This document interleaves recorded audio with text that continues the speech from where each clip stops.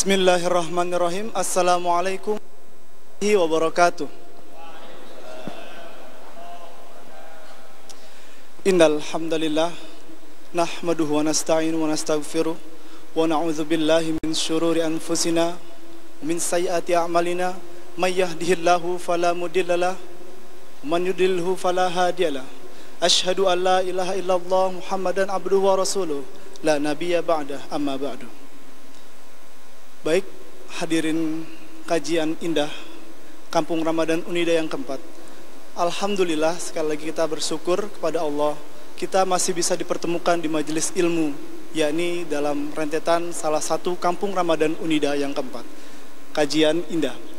Alhamdulillah pada sore hari ini kita kedatangan tamu yang sangat spesial yakni beliau adalah salah satu wakil kedua wakil ketua MPR RI periode 2014 hingga 2019 yakni Al Ustad Hidayat Nur Wahid.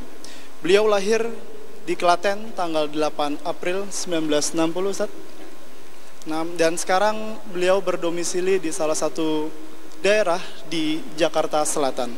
Selain menjadi wakil ketua MPR, beliau juga pernah menjadi ketua Badan Kerjasama Antar Parlemen DPR RI periode 2014, 2012 hingga 2014 dan juga pernah menjabat sebagai Ketua MPR RI periode tahun 2004 hingga 2009. Baik, seperti yang kita ketahui, Indonesia memiliki dasar-dasar landasan negara, yakni Undang-Undang Dasar 1945 dan Pancasila. Keduanya tidak lepas dari perumusan yang sangat sedemikian rumit hingga tercapailah dua ideologi negara tersebut. Dalam pencapaiannya, dalam sisi historis, perumusan Pancasila dan Undang-Undang Dasar tidak terlepas dari peran umat Islam. Bagaimana kelanjutannya? Maka kita akan mendengarkan dari Al Ustadz Hidayat Nur Wahid. Kepadanya kami persilahkan.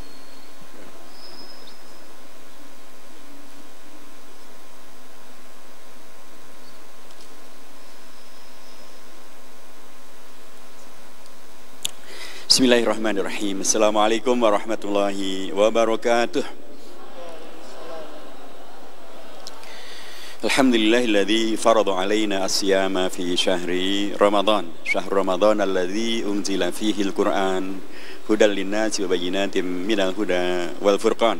Asyhadu an la ilaha illallah wahdahu la syarikalah wa asyhadu anna Muhammadan abduhu wa rasuluhu la nabiyya ba'dah المبعوث معلما ومبشرا ونذيرا وداعيا إلى الله بإذنه وسراجا منيرا أما بعد فقال الله عز وجل في كتاب العزيز أعوذ بالله من الشيطان الرجيم يا أيها الذين آمنوا كتب عليكم الصيام كما كتب على الذين من قبلكم لعلكم تتقون صدق الله العظيم وصدق رسول النبي الكريم Uh, saya saimat semuanya rekan-rekan saya, sahabat-sahabat saya, para mahasiswa dari Unida dan atau yang sedang mengikuti kegiatan Kampung Ramadan dan para hadirin hadirat semua yang saya hormati. Alhamdulillahirrahmanirrahim. Hari ini adalah hari yang keempat dari berpuasa di bulan Ramadan di tahun sekarang ini. Ketika Allah kemudian menegaskan dalam Al-Qur'annya sebagai ya ayyuhalladzina amanu kutiba alaikumusiyam kama kutiba alal ladzina min qablikum itu artinya adalah Allah mengingatkan kita semuanya bahwa kita adalah makhluk sejarah. Karenanya dirangkaikanlah antara kewajiban puasa kepada kita umat Islam dengan kewajiban puasa kepada umat-umat sebelum kita. Kama kutiba alal ladzina min qablikum ini menegaskan tentang pentingnya kita mempunyai kesadaran sejarah. Termasuk sejarah bahwa umat Islam ini dengan puasa bahkan oleh Allah seperti diinterupsi. Anda umat Islam bukan ditakdirkan untuk menjadi yang kalah. Anda umat Islam bukan ditakdirkan untuk hanya menjadi pelengkap penderita. Anda umat Islam tidak dihadirkan ke muka bumi hanya untuk menjadi apa e, gincu, pemanis saja, atau Anda apalagi menjadi keset atau pendorong mobil mogok. Enggak. dengan hadirnya puasa di bulan Ramadan dan rangkaian peristiwa-peristiwa di bulan Ramadan yang terjadi pada masa Rasulullah Allah sedang memberikan interupsi mengingatkan kepada umat agar bangkit dan agar bangun dari tidur panjangnya begitu ya memahami sejarah umat ini agar tahu bahwa umat dengan puasa di bulan Ramadan dengan hadirnya bulan Ramadan telah menghadirkan kemenangan-kemenangan yang gilang gemilang dan luar biasa. Antum pastinya belajar tarikh tashri. Alaysa kadzalik? Dalam tarikh tashri pasti dipelajari tentang kapankah satu ibadah diwajibkan. Tanyanya kemudian karena kapankah ibadah puasa di bulan Ramadan disyariahkan sebagai kewajiban untuk umat Islam? Fi ayyisanatin hiya? Dari sana tahun ke berapa Hijriah? Tahun ke? Pasti sebelum tahun ke-12 Hijriah. Beliau udah wafat nantinya. Jadi tahun ke berapa? Enaknya dia tahun berapa? Nasi itu masa puasa kemudian lupa ilmunya? Karena lapar kemudian jadi lupa ilmu. Tahun keberapa? Tahun keberapa Hijriah puasa disyariahkan. Ini bagian dari tarikh tasri yang sangat elementer. Tahun kedua, jazakallah khair. Tadi nggak perlu pakai buka Google saja. Ya. Tahun kedua Hijriah. Apa maknanya? Dalam konteks sejarah, antum pasti ingat tahun kedua Hijriah ada peristiwa sangat besar. Peristiwa apa? Peristiwa Perang Badar. Al-Quran menyebutnya sebagai Yaumal Furqan, Yauma Iltaqo Al-Jam'an. Tahun e, ibadah puasa di bulan Ramadan disyariahkan di tahun kedua Hijriah. Puasa Ramadan disyariahkan di tahun kedua Hijriah. Apa namanya? Perang Badar terjadi pada bulan Ramadan. Maknanya adalah bahkan semenjak pertama kali tahun pertama puasa diwajibkan kepada umat Islam. Umat Islam tidak menghadirkan umat yang lembek umat yang pemalas umat yang hanya tidur saja umat yang tidak produktif bahkan menghadirkan umat yang mampu mengalahkan konspirasi musyrikin Quraisy yang selama masa prahijrah mereka seolah-olah layuk har tidak bisa dikalahkan. Tetapi Tahun kedua Hijriah dengan dilakukannya, disyariahkannya puasa di bulan Ramadan, Rasulullah berpuasa, umat berpuasa, memang ketika berangkat jihad mereka tidak berpuasa. Tapi kemudian mereka menang. Kemenangan yang gilang gemilang yang luar biasa. Al-Qur'an menyebutnya sebagai Al-Furqan. Memindahkan kondisi pra-hijrah dengan kondisi pasca hijrah. Umat Islam tidak lagi diposisikan sebagai yang gampang saja dikerjain di embargo selama tiga tahun di Siep Ali. Kemudian bahkan disayembarakan untuk dibunuh. Rasulullah disayembarakan untuk dibunuh. Rasulullah memang tidak melakukan perlawanan. Itu kondisi pra hijrah qoblal hijrah. Tapi setelah hijrah tahun pertama di mana puasa diwajibkan siam Ramadan disyariahkan Rasulullah dan umatnya kemudian hanya dalam waktu satu minggu dua minggu mereka sudah menjadi generasi yang baru.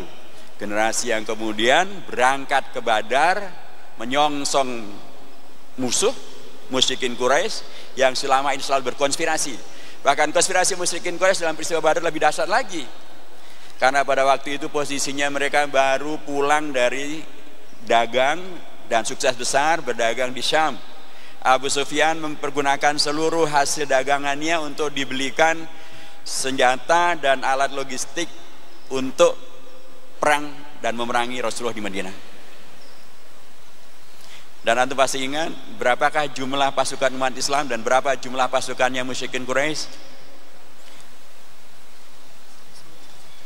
Ya, dari kalangan muslim 313 pasukan. Dari kalangan musyrikin seribuan pasukan tiga kali lipat.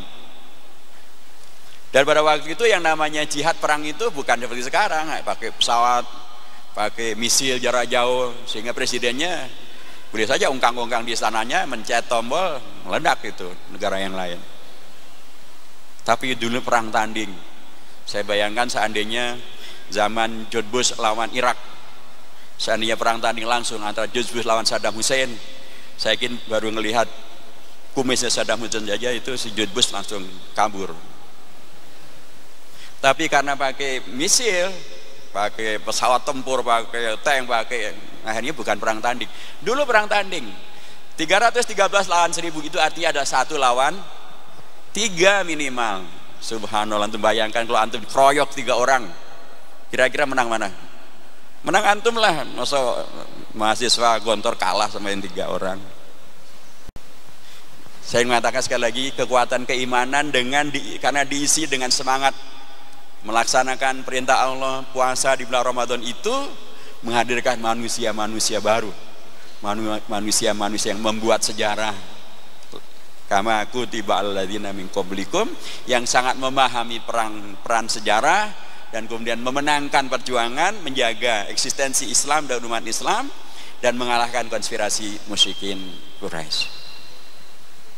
Begitulah Ramadan mengingatkan kepada kita tentang sekali lagi tentang pentingnya menyadari peran sejarah kama kutiba alal ladzina min qablikum. Sahabat Ibnu Abbas radhiyallahu anhu pernah menyampaikan mengapa di dalam Al-Qur'an banyak disebutkan tentang kisah-kisah masa lalu kisahnya para nabi, kisahnya para raja, kisahnya kaum-kaum baik yang yang soleh maupun yang toleh, yang taat maupun yang maksiat. Mengapa dalam Al-Quran banyak disebutkan kisah-kisah? Dan bahkan satu daripada nama surah yang ada dalam Al-Quran adalah surah Al-Qasas. Surah Qasas Al-Qasas jamak daripada Al-Qisah mengapa? Kata Ibn Abbas radhiyallahu anhu dan beliau adalah habru hadil ummah yang Rasulullah pernah mendoakan kepada beliau Allahumma faqihu fid din wa alimhu at-ta'wil. Beliau memberikan penjelasan mengapa dalam Al-Quran dipentingkan betul sejarah disebutkan kisah-kisah yang begitu rupa dan banyak sekali bentuknya? Menurut beliau li'annal qissata jundun min junudillah. Karena yang namanya kisah itu bisa menjadi pasukan-pasukan Allah yang menguatkan umat Islam supaya istiqomah supaya terus bersemangat untuk membela ajaran agama supaya kemudian mengetahui kalau mereka memperjuangkan agama dengan benar maka Allah akan menolongnya. Dan contohnya sudah sudah sangat banyak supaya mereka tidak maju mundur supaya mereka tidak takut supaya mereka tetap terus berani. Sebaliknya untuk mengingatkan kalau sampai antum tidak istiqomah sampai anda kemudian kufur sampai anda apalagi sampai murtad apalagi anda sampai kemudian mendukung musuh-musuh Allah ujung akhirnya jelas Anda bukan hanya kalah di dunia tapi habis juga di tingkat akhirat. Jadi al-kisah itu jundun min junudillah. Begitulah kita semuanya belajar dari sejarah termasuk sejarah bangsa dan negara kita Indonesia. Mengapa ini saya sampaikan? Karena bahkan para founding fathers dan founding mothers saya selalu sampaikan dan ini istilah yang saya yang mempopulerkan founding mothers. Selama ini hanya disebut founding fathers, bapak bangsa. Kemudian ada anak bangsa. Emangnya ada tuh, hanya ada bapak dan kemudian ada anak tanpa ada ibu. Emangnya sudah pada jadi LGBT? Tidak ada, ada bapak, ada anak, pasti ada ibu. Ada bapak bangsa, ada anak bangsa, pasti ada yang namanya ibu bangsa.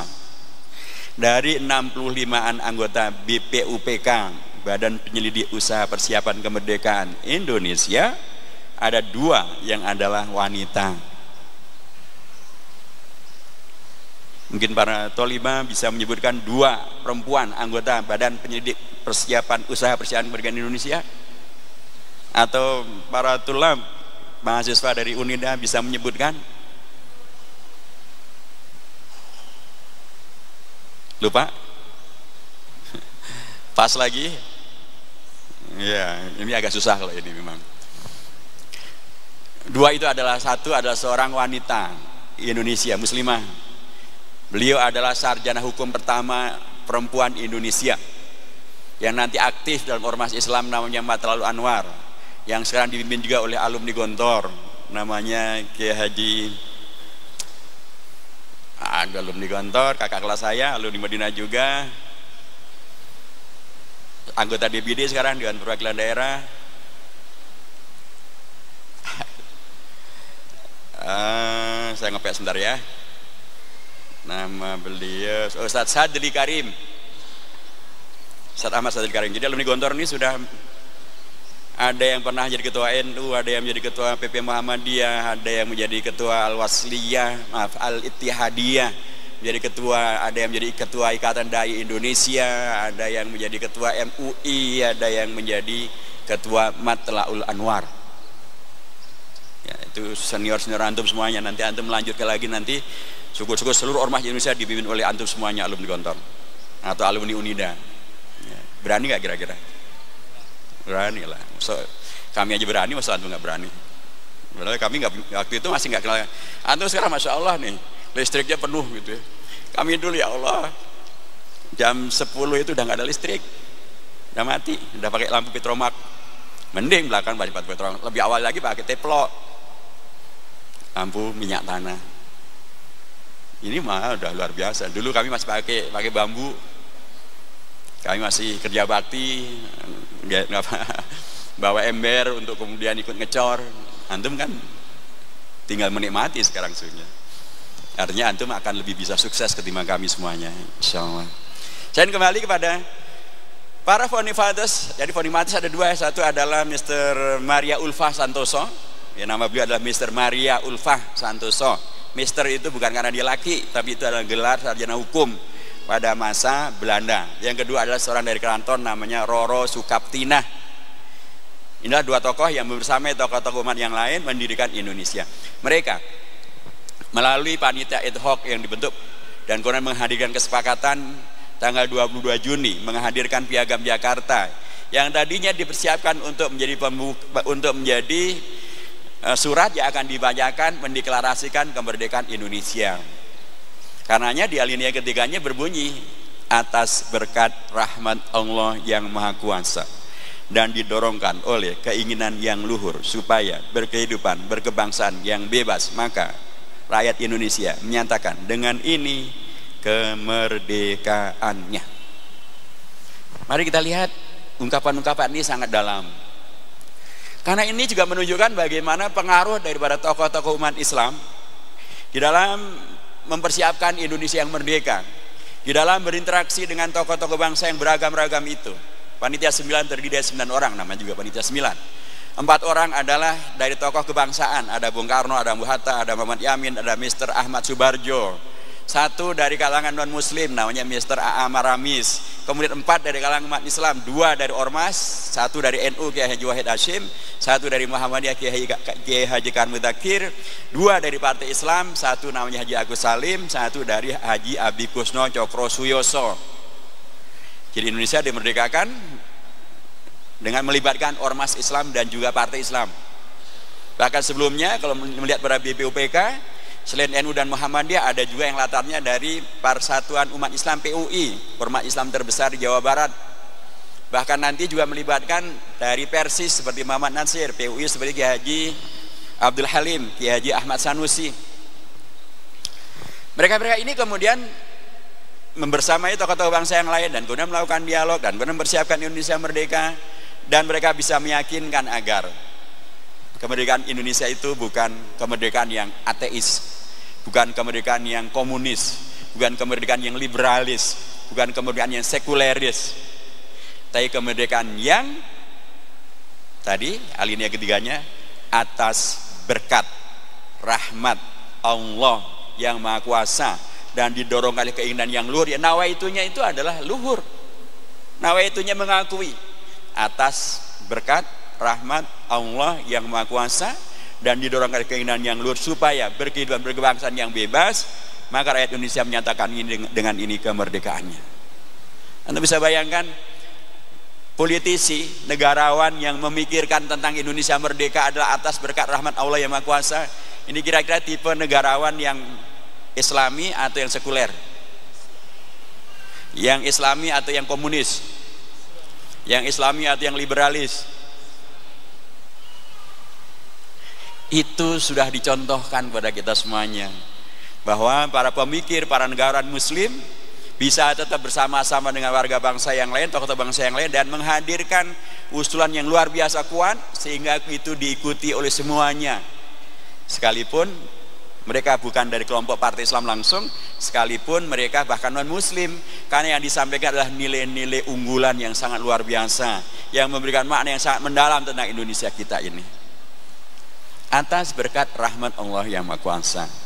Dan di Ramadan seperti ini biasanya populer hadis tentang puasa. Awaluhu rahmah wa wa, wa ausatuhu maghfirah wa akhiruhu itkun minan nah. Mari kita perhatikan. Awaluhu rahmah Ramadan dalam konteks hadis ini tanpa mempertimbangkan kepada sihatul hadis atau ada mesihatihi tapi sudahlah ini menjadi yang populer. Kita jadikan sebagai ajaran untuk me, apa, menyemangati gitu ya. Awalul rahmat 10 hari pertama dalam bulan Ramadan adalah rahmat rahmat. Dan ingat tadi atas berkat rahmat Allah yang Maha Kuasa. Mari kita lihat. Bulan apa namanya bulan di mana Indonesia diproklamasikan adalah tanggal 17 Agustus tahun 45 benar. Tapi dia adalah diproklamasikan di bulan Ramadan. Waktu itu Agustus 7 Agustus 45 bertepatan dengan bulan Ramadan. Tanggal berapa Ramadan? Fi tarikh min tawarikh Ramadan. U'lina istiqlalu Indonesia Jangan buka Google ya. Tanggal berapa? Pas lagi? Oke, tanggal 9 Ramadan. Tanggal 9 itu masih sebelah hari pertama kan? Masih awaluhu rahmah. Karenanya tadi atas berkat rahmat Allah. Sampai gitu. Dan itu diproklamasikan di hari apa? Hari Jumat tahun berapa? Ya 45 1945 sahih. Tapi itu kan uh, tarikh atau masihian tapi hijrian ayat sanatin hiya. Umat Islam harus yang paling paham ini dong. Masa umat Islam lupa? Kalau kita tidak punya kesadaran sejarah kita dengan sangat mudah diumbang ambingkan untuk kemudian nanti dikalahkan karena kita tidak mempunyai rujukan. Tahun berapa? Pas 1364 Hijriah. Tanggal berapa Ramadan? Hari apa? Tahun berapa? 1364 Hijriah. Antum penting untuk kemudian pertama pertimbangkan bahwa ini bulan Ramadan, harinya pun hari Jumat. Jadi para bapak bangsa dulu nggak main-main mendirikan Indonesia ini. Tokoh-tokoh umat Islam dahulu tidak main-main menghadirkan Indonesia ini dan mereka adalah orang-orang yang hebat-hebat. Ya. Haji Agus Salim dulu bahkan sekolah pun nggak sampai perguruan tinggi. Beliau otodidak. Tapi beliau hanya menguasai bahasa asing hanya sembilan saja. Nah, itu salah satu yang memberikan Indonesia. Dan beliau jenggotnya lebih panjang dari yang ada di sini semuanya. Kalau dibanding para akhwat nggak ada ada bandingannya. Dan sekarang muncul nih di era melawan terorisme muncul beragam yang aneh-aneh bin ajaib. Aneh bin ajaib kalau laki, kalau perempuan aneh binti ajaib. Mereka katakan ciri teroris berjenggot. Enak saja berjenggot ciri teroris. Bukannya pahlawan-pahlawan bangsa dulu banyak yang berjenggot. Salah satu dari panglima panglima pertama dari TNI kita namanya Gatot Subroto. Itu namanya dipakai jalan yang sangat protokol di Jakarta. Dan bahkan MPR DPR itu adanya jalan Gatot Subroto. Gatot Subroto berjenggot atau tidak? Berjenggot. Pernah lihat fotonya? Nah, fotonya berjenggot. Kemudian kalau antum ke Jakarta ke RSPAD, Rumah Sakit Pusat Angkatan Darat, Gatot Subroto, ada patung beliau berjenggot. Kok berjenggot dijadikan sebagai salah satu dikasih terorisme. Haji Agus Salim waduh jenggotnya panjang banget lebih panjang dari kita semua di sini. Berjenggot panjang kesel teroriskah beliau? Bukan teroris. Justru beliau yang memerdekakan Indonesia bersama dengan tokoh-tokoh yang lain. Yang bahkan diplomasi beliau menghadirkan pengakuan atas kemerdekaan Indonesia di negara-negara Timur Tengah. Karena beliau pernah mukim di Mekah dan karenanya pernah belajar bahasa Arab bahasa Arab beliau sangatlah fasih dan sangat lancar ada lagi sekarang tuduhan atau apa ciri terorisme. Teriakan Allahu Akbar. Allah Akbar teroris. Nah kalau kemudian setiap hari ada nanti sebentar lagi juga Allahu Akbar nih. Adzan maghrib Allah Akbar di mana-mana. Apa kemudian dikatakan eh teroris memanggil Naudzubillahi minasyaitonirrajim. Tapi dalam konteks perjuangan bangsa Indonesia Allahu Akbar juga bukan teroris. Tanggal 10 November tahun 1945 melaksanakan fatwa dari Kiai Haji Hasim Asy'ari tanggal 22 Oktober tahun 45 dan itu sekarang menjadi hari santri nasional. Itu berdirilah dan datanglah kalangan muda dipimpin oleh Bung Tomo. Dan kemudian mereka memprakarsai perang melawan penjajah Belanda yang ingin hadir mendompleng dari pasukan sekutu. Dan teriakan beliau adalah Allahu Akbar, Allahu Akbar, Allahu Akbar, merdeka dan kemudian memenangkan pertarungan di, di Surabaya. Jadi teriakan Allah Akbar juga bukan teroris. Dia nggak ngerti Islam saja yang ngomong begitu. Bahwa teroris-teroris, ya itu suatu hari kita koreksi. Apa pun penampilannya, pakai apa pun juga, karena teroris yang paling teroris itu kan Yahudi Israel. Memangnya Israel, Yahudi pakai teriakan Allah Akbar? Ya enggak lah.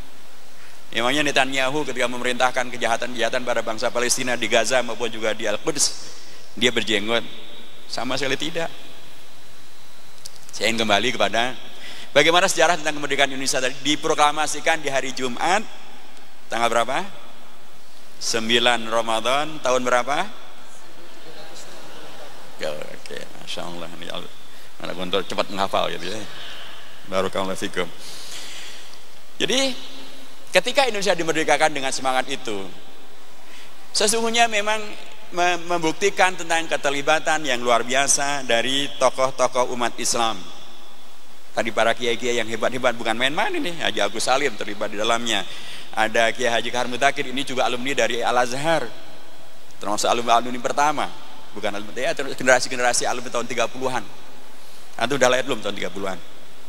Saya juga belum. Ayah saya juga belum, ya. Pesantren kita juga baru berdiri gitu ya. Kemudian ada Haji Abikus Cokrosioso. Siapa Abikus Cokrosioso? Beliau adalah adik daripada Haji Umar Said Cokro Aminoto. Orang hebat lagi yang lain. Ada lagi putra daripada Kiai Haji Hasim Asari yaitu Kiai Haji Wahid Hasim. Ini lagi otodidak. Tapi Masya Allah ilmunya dan pengetahuan masalahnya sangat-sangat luar biasa.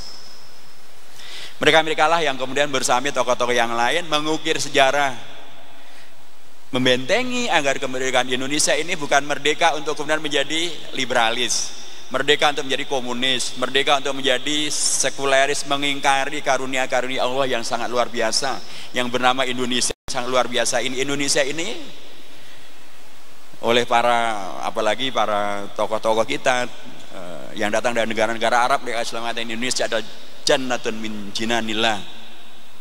Ini ada tanah surga luar biasa memang luar biasa Indonesia ini. Kalau antum dan itu antum bisa merasakannya kalau membandingannya dengan dunia luar. Indonesia kita luar biasa. Sangat-sangat luar biasa. Termasuk juga dengan kekayaan yang Allah berikan pada Indonesia ini. Bayangkan. Indonesia ini tadinya terdiri dari begitu banyak kerajaan-kerajaan Islam. Termasuk kerajaan Mataram, Jogja itu Islam. Kalau antum dari Rio, kerajaan Rio, Syarif Sultan kerajaan eh, apa namanya eh, di Siak atau di Indragiri, semuanya kerajaan Islam. Tapi bahkan kerajaan raja Islam ini, Sultan-Sultan Islam termasuk Sultan Hamengkubuwono, dengan kerajaan yang sudah berumur ratusan tahun, tanpa di, ya, diminta, tanpa apalagi diserang, tanpa dipaksa. Mereka lah yang serah sukarela mengakui Indonesia dan menyerahkan kedaulatannya kepada pemerintah Indonesia. Dahsyat. Sultan Syarif Qasim juga begitu. Bahkan buat wasiat, diwakafkan seluruh tanah kerajaan untuk Indonesia dan tidak boleh ahli warisnya untuk menuntut. Dahsyat. Jadilah Indonesia yang merdeka. Salah satu di antaranya melalui tadi kerajaan-kerajaan Islam menyerahkan kedaulatannya untuk membersamai membentuk negara kesatuan Republik Indonesia. Pada kerajaan-kerajaan itu gelarnya para rajanya saja sangat dasar sekali. Antum pasti tahu gelar Sultan Jogja itu apa. Siapa bisa menyebutkan gelar lengkap daripada Sultan Jogja? Sultan Hamengkubuwono, ya. Gelarnya apa? Pas lagi, hari ini pelajaran sejarah kita banyak nih. Gelar beliau adalah Senopati Engalogo Ngabdurrahman Sayyidin Panotogomo Khalifatullah ing tanah Jawa.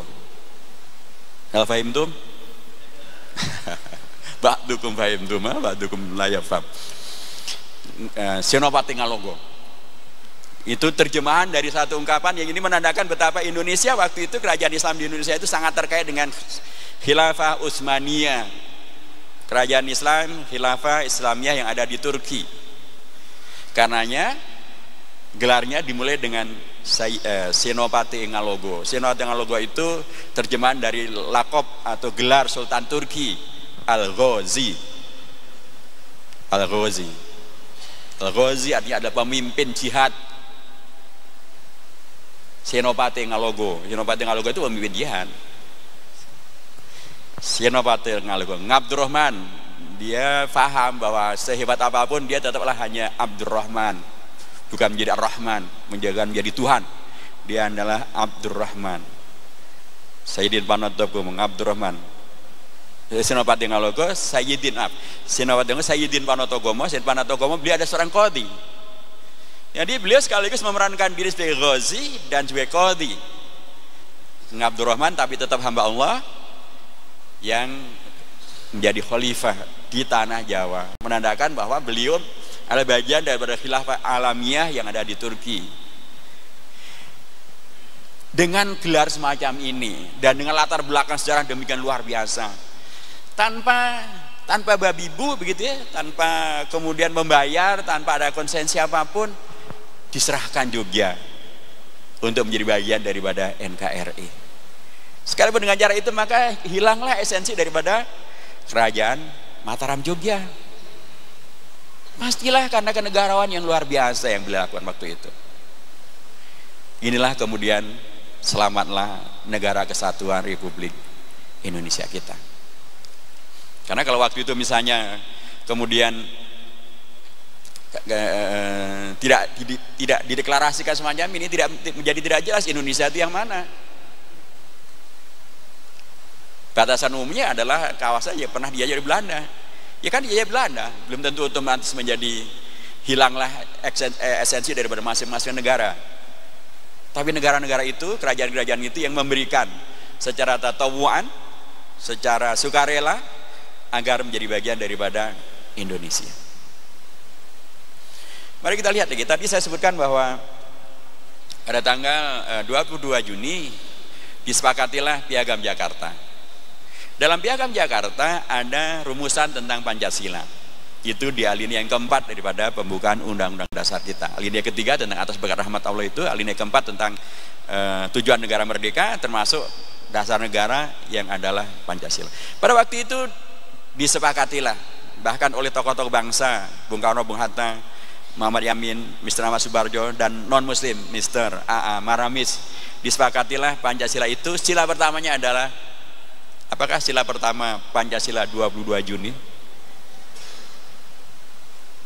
Apakah sila pertama Pancasila 22 Juni? Pancasila ada tiga versi, Pancasila 1 Juni, Pancasila 22 Juni, dan Pancasila 18 Agustus. Apakah Pancasila 22 Juni? Sila pertamanya aja deh. Ketuhanan ketuhanan dengan kewajiban melaksanakan syariah Islam bagi pemeluk-pemeluknya. Itu diterima. Dan ketika Indonesia diproklamasikan tanggal 7 Agustus, Pancasilanya masih ini. Masih dengan ketentuan tentang ketuhanan dengan kewajiban melaksanakan syariah Islam bagi pemeluk-pemeluknya. Kok kemudian menjadi berubah ketuhanan yang Maha Esa? Kaifal kisah? Nah, gimana ceritanya? Tuh lugatukum al-arabiyah fi gontor hakata. Kaifal kisah Ustaz? Gimana ceritanya? Yang bisa menjawab dengan baik dan benar, saya kasih hadiah umroh.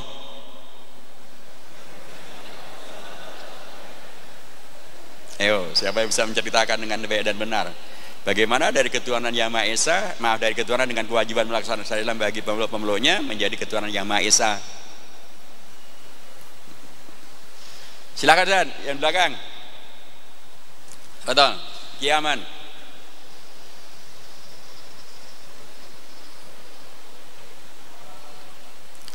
Ya langsung aja Zan, nggak apa-apa. Kayaknya nggak ada mic. Nyata ke depan, depan ada mic.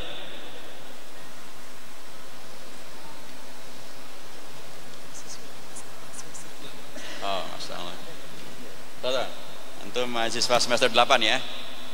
Arif Nafsakahi. Uh, ismi Andika Rahmat itu min Sumatera Al-Gorbia. Min? Sumatera Al-Gorbia ada. Sumatera Gorbia. Padang wala Padang Bukit Tinggi. Bukit Tinggi dah. Bukit Tinggi. Masya Allah. Ayo, tafadhol, Isra. Ah, jadi sewaktu sebelum uh, pada waktu itu datang utusan dari Indonesia Timur Ya. bahwa mereka tidak akan mengakui kemerdekaan Indonesia dan tidak mau ikut dalam NKRI jika jika baris pertama ini tidak diubah gitu. Ya. Itu disampaikan oleh perwira Jepang kepada eh Opsir Opsir Jepang namanya siapa? Jepang. ah, Nama- Afwan lupa tadi. Sudah. Ini kurang dari 10 menjadi tinggal 9. Adik, lanjut. Ah, namanya namanya Opsir Maida. Siapa namanya? Opsir Maida. Opsir Maida. Itu orang Sehingga, Jepang. eh, Nah mereka bertemu, jadi mereka sampaikan kepada Opsir Maida. Kemudian Opsir Maida ketemu dengan eh, Jangan Lupa. Eh. lupa lagi. lupa lagi. Tinggal delapan.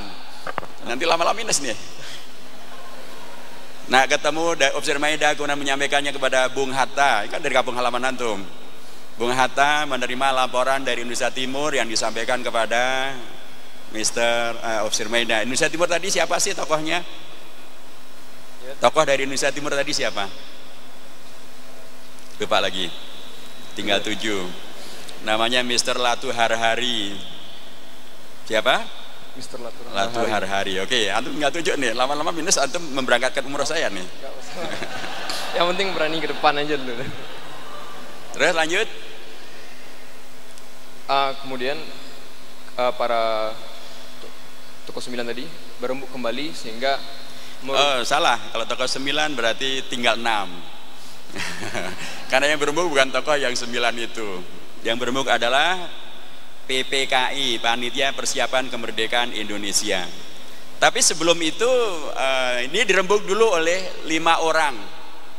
Siapakah kelima orang ini? Antum nilai antum enam.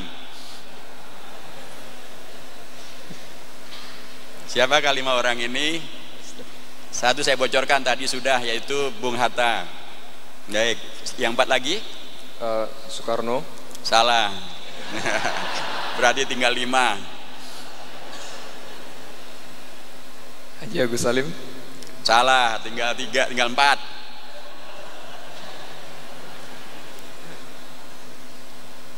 apa nasi itu kata-kata? Apaan? Pas saja ya, udah oke baik. Terima kasih antum sudah berani maju gitu ya. Jadi Bung Tom, Bung Hatta kemudian setelah mendengar aspirasi dari Indonesia Timur tadi, beliau kemudian bertemu dengan empat tokoh umat Islam.